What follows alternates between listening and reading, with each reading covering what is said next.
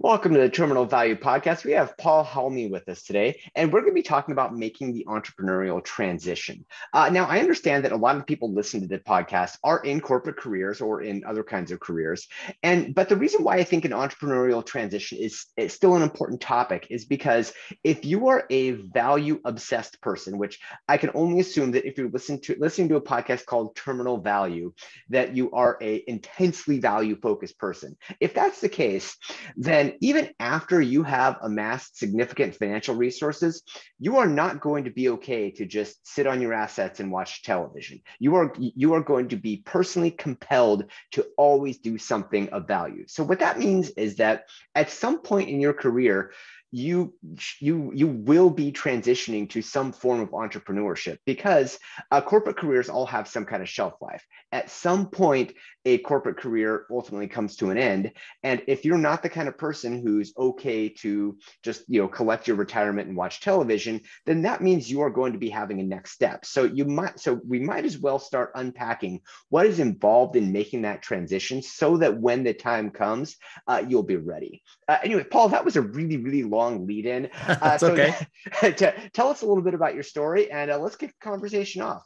Yeah, my story is similar to that, but I did it at a way earlier time frame than I would have planned on. Yeah. So uh, I got out of college and first major job was a stockbroker. Loved uh-huh. it. It was amazing. I started at the worst time possible in 2000. So anybody remembers that? That was for 9/11 and the markets crashed.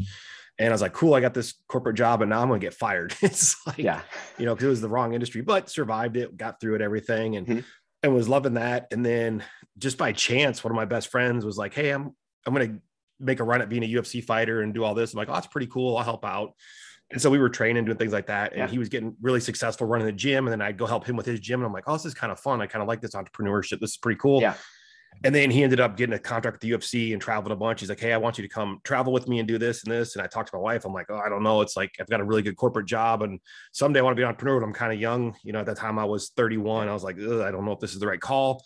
And then we were like, well, you know what? Let's open a gym. Let's try it. You have two years till my licenses would expire. So I was like, okay, we'll do it. And I can always go back because I'm still young. I'm only 31 yeah. around there. And then just made that move and it was crazy. It was just, it was definitely a big step, you know, something I would, yeah. wanted to do later on in life. But when the opportunity came, I was like, man, like this is, this is like a once in a lifetime opportunity to go down the road of something I really want to do. Yeah. Oh, that, that, that's awesome.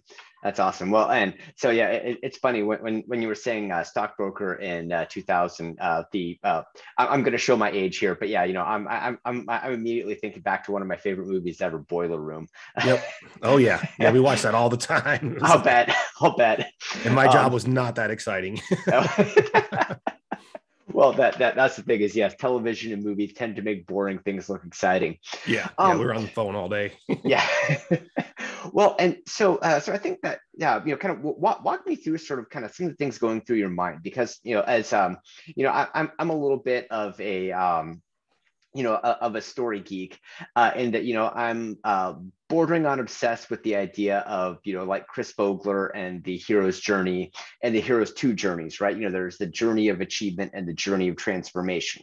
So it's like say when you're going through an entrepreneurial transition. Uh, so like for example, in my case, I was terminated from my corporate job at the beginning of COVID, which sucked. Uh, yeah. You know, but of course, you know, so and of course going through that, I was like, all right, well, I can you know, I, I can go back and find another corporate job. You know, uh, the, the thought that I had kind of my journey of, uh, of achievement, the result was I was like, well, it's going to take me three to five years to get whoever I'm working for to really trust me. In that same three to five years, I could probably figure out a way to get something going. Uh, you know, but then like that journey of transformation is where you say, okay, well, no, actually, what I'm really figuring out is that to me entrepreneurship is not just about hey i'm going to have a business and make money. It's about you know there's a group of people who you really have a calling to go serve. And if you believe that there's a that there's a that there's a group of people and what you have is genuinely valuable then you have a moral duty to bring that out to them. Uh, and so when you look at it like that, um, you know, entrepreneurship, you know, this is going to sound hackneyed, but it kind of can become, it kind of becomes a calling. I mean, yeah. I don't know if you've experienced something different, like or something something different. Listen to me stepping on my own tongue, uh, something similar. But um, uh, but you know, I'd love to hear kind of what you know uh, what your experience has been. Yeah, that was definitely a thing for me when I started doing it. It was I started running the gym. Is like, you know, you're doing it as a business and then you're looking yeah. at the bottom line, making sure you're making money, but you're actually in my industry, you're changing people's lives. It's people yeah. are coming in overweight, out of shape, high blood pressure, stressed out, you know, probably going to die in a few years, you know, and it's like, man, you got to take better care of yourself and you see them change their life and, yeah. you know, get in better shape. They're happier. They have more confidence, you know, and that helps, you know, guys in the corporate world because then, you know, they're, their counterparts are overweight, out of shape, and sad looking, and they get in shape and they become more confident and they're getting promotions and they're feeling better about themselves. So mm-hmm. it's like it's a super rewarding career. Like I, have yeah. loved it. I've been doing it now for you know over 20 years, and it's just amazing.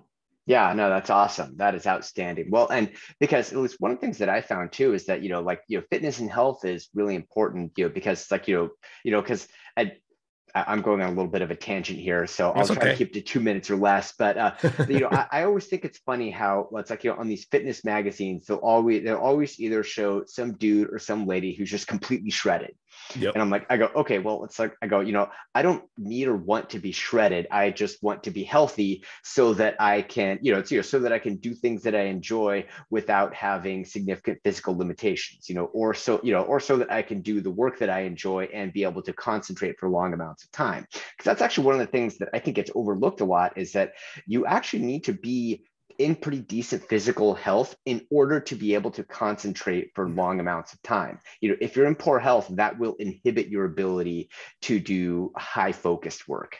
Oh yeah, hundred percent. Yeah. You know, and go ahead. Oh, I was just saying hundred percent. Yeah. It's like, if you want to operate at a higher level, it's like you have to be in shape to be able to produce. Otherwise you're tired and you're over caffeinating and you're like, then you're yeah. just crashing. You're no good at home. And it's, creates like this spiral of unhealthiness. Yes. Yeah exactly. Exactly. And uh, you know and you know i think that that's you know that's actually one of the uh, parts of you know we're going a little bit of a, a, little bit of another direction here kind of talking about the, the health impact of making an entrepreneurial transition but i think it's a you know it's a good rabbit hole um, because you know i think the you know monitoring the health impact your health your fitness and all those things while you're going through that transition is actually i think a lot more important than most people really understand. You know it's a lot of people put a lot of focus on so okay these are the skills they need to develop. That's important. These are you know i need to make sure i need to just go get contracts contracts and get revenue. That's important. I need to actually create a you know, make a profit. That's important. But you have to figure out how to do all this while staying both physically and emotionally fit. Otherwise, you you will eventually self-destruct. Oh yeah, hundred percent. Yeah, you got to take care of yourself because it's even like in the corporate world too. It's like you see people all the time that's like they work their butt off, they make a whole bunch of money, they have a whole bunch of money put away, and then they die yeah. you know, just for some, you know, obviously accidents happen and things like that, but there's yeah. things you could have prevented. I mean, there's no reason to to build your whole life to build all these assets up just to not get to spend any of them because you didn't take care of yourself. Yeah, but right, exactly. And and I think that's uh uh, unfortunately, that kind of thing happens to quite a few people, uh, which is that you know they you know, and of course, right the you know the way the uh, the wealth curve goes is that it skews older just because you have more, more time to compound assets. Yeah, it's just like but yeah, but if you haven't taken care of yourself, by the time you get to where you ha- actually have a significant amount of assets, uh, you could be at the point where you can't travel anymore because it's too difficult to to go through airports or get on planes, you know, or you could get to where you know you're so kind of set in a routine that dealing with how things work in like say germany or france or china or wherever uh, is too disconcerting. Uh, you know i actually know a number of people who have the financial resources to do a lot of really cool things uh, but they're either mobility restricted or uh, you know or i guess i would say um, change adaptability restricted. And you know so what they end up doing is they end up doing a lot of things the same as they would otherwise and their financial assets just kind of keep compounding but they don't ever get to have any fun with them. Yeah yeah that's that's definitely not what i want to do. Yeah yeah yeah yeah okay okay yeah see that that that thing that you just told me about um, yeah how, how about if we do the opposite of that? Yeah 100% um, do the opposite do stuff now and but then take care of yourself because people are live every year i forget what the stat is but every year you live now with science and the improvements, it, adds more time to your life expectancy. We're going to see crazy changes over the next yeah. two decades of life expectancy. It's like, so if you're not taking care, you say you're imagine you're just broken down in your 60s, and all of a sudden the average life expectancy is now is 100, and you got 40 crappy years with a bunch yeah, of money right. and you can't do anything. Sounds horrible. yeah. Yeah, well, uh, uh, yeah, actually, yeah, I, I never kind of thought about it that way, but that's it. That, that's exactly it. I mean, and because you know, kind of going down, you know, kind of going down the path of really making sure to take care of your, you know, of your uh, physical fitness is that, you know, it, you know, there's absolutely no reason why when you're 60, 70, whatever, you know, that your physical and mental state has to deteriorate. I mean, sometimes, you know, people get diseases or whatever. Yeah. But, you know, most of the reason why people become fragile as they get old is that they're, they basically let their physical condition atrophy. Yep. Uh, you know, and so you know, uh, I'd love to hear about some of the strategies that you've seen that are effective uh, to be able to maintain that, you know, without requiring a whole bunch of time. And I, I apologize for kind of hijacking no, no, the, it's, uh, the it's purpose fun. of this episode, um, but uh, but you know, because that's one of the things that I've uh, developed a little bit of fascination with is you know because of course, right, you know, if you're you know if you're willing to spend five hours a day in the gym, yes, you can be extremely yeah. fit. Yeah, um, you don't need to do that yeah yeah exactly. But the you know the, the whole question is going to be okay you know how you know how do you effectively stay fit for let's say 30 minutes a day? And because i know it can be done but the whole question is going to be what's that strategy? I think that that's a, a different spin on the on the question. Yeah and, and, it's something that's really simple too when you look at it and basically the is just be more active. Yeah. like literally i mean we're in a sedentary world. It's like we sit at our desk we sit in our car we do this stuff and just start walking. Like give you an example, like my mother-in-law, she's in her like mid 70s and literally she walks like four to five miles every day. Like uh-huh. a brisk, I mean, she motivates, you know, it's like, and she is constantly on the go, constantly doing things, you know, she's in her mid 70s, you know, it's it's crazy. So I watch her. Then I see other people like in their 60s that can't do anything. They're 100 pounds overweight. They stop doing everything. Yeah. But it's like simple things and just start moving, just start walking, you know. And people are like, yeah. oh, I, I don't want to go to a gym. Well, don't go to a gym then. Just start walking, yeah. do some stretching, do some mobility. And then when you do, you know, add in some, you know, resistance bands or light kettlebells yeah. or anything like that. And you can you can cut the excuse and be like, yeah, if you did 30 minutes a day, five days a week, it'll change your life. Yeah.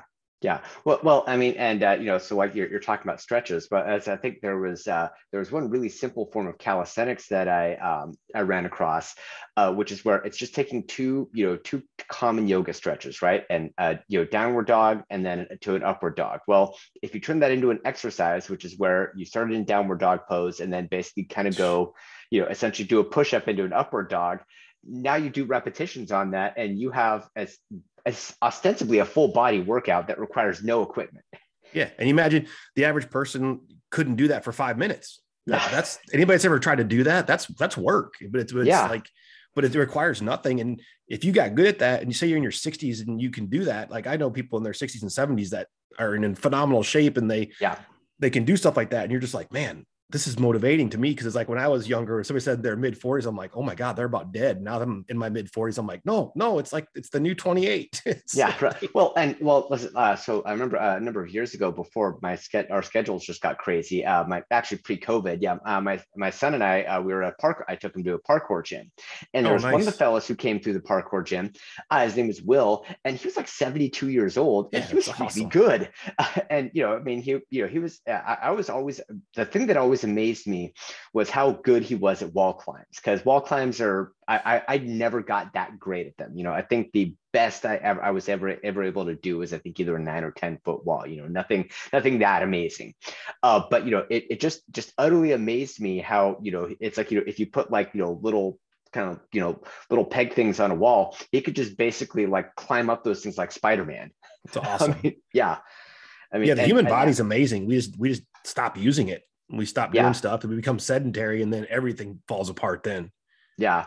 Yeah. Uh, absolutely. Wow. And uh, all right. Well let, us get back to the actual okay. topic of this conversation and talking about making an entrepreneurial transition. So um so you know, what, what are some of the learnings that you had from your transaction uh, transition? Kind of some of the ahas that you if you could go back and share them with your younger self that you'd want to do yeah go definitely would go back and more planning like having your finances in way better shape. You know when i left i was young married you know had a baby on the way. Uh-huh. or sorry no i had two kids at that time. So it's like i would have you know if somebody you know hopefully listen to this podcast who's maybe they're in their mid 40s or 50s hopefully they've built up a, a large nest egg where they're like oh, okay yeah. i've got all this money invested. Now that takes a huge chunk of pressure off if you have something like that. So if you're transitioning out of the corporate world into being an entrepreneur that takes a lot off where you can focus on you know developing the skills and not rushing you know taking your time yeah. like you know unless something happens where you do get laid off or something happens or like covid when you know everybody lost their jobs and things like that then it's like okay we got to figure something out but if you got time to plan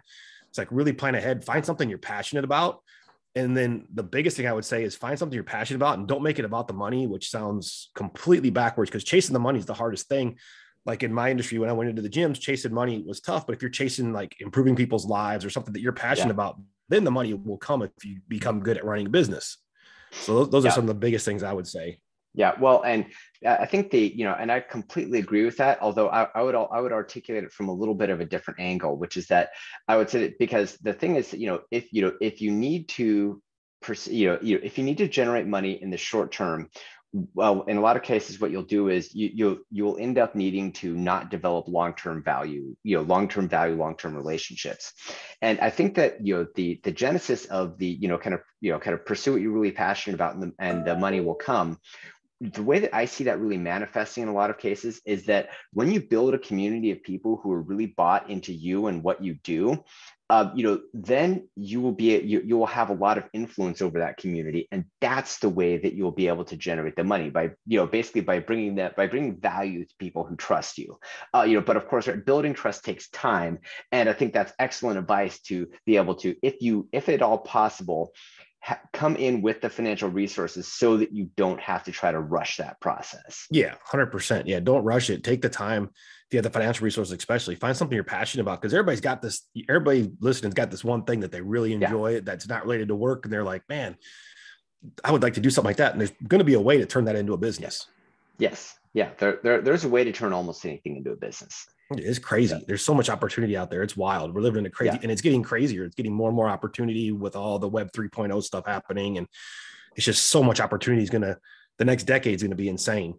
Yeah, absolutely, absolutely. I mean, and I, I think that's the case. That, that's the case. You know, it's like you know, in in, in one way, um, you know, I, I, would say that you know, in, in one way, there's a lot of uh, you know, a lot of old ways things were done that really don't work anymore. But in another way, there's you know, every, every single day that goes by, there are just untold amounts of opportunities that are being created. And in a lot of cases, people can just create their own opportunity.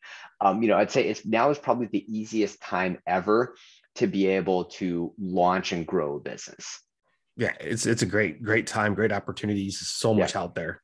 Yeah, absolutely. Absolutely. Well, uh, well, Paul, at uh, um, let's uh, kind of you know round us off with a couple last nuggets of wisdom and then make sure to let everybody know where they can uh, find out more uh, tell us your website and or okay. Uh, if there's a newsletter that you uh, uh, that you publish yeah my favorite place right now is instagram i just love yeah. it's it's a way more positive place than facebook and some of the other social media right. i just like the i like the positivity of instagram i like the behind the scenes of stories people that i've you know, that I look up to. It's like you see behind the scenes what they're doing. So best place to find me is instagram.com forward slash P-A-U-L period H-A-L-M-E. Um, and always putting out good stuff on there. So I would have a good time. Outstanding. Outstanding. Well, uh, well, Paul, really appreciate your time today. Yeah, I had a great time. Thanks for having me. I'll talk to you later. All right. Thank you for listening to the Terminal Value Podcast. Please feel free to visit me online at www.terminalvalue.biz, where you can subscribe, find me on social, and then we can connect and just keep the conversation going. I'm really looking forward to hearing from you, and I hope you have a wonderful day.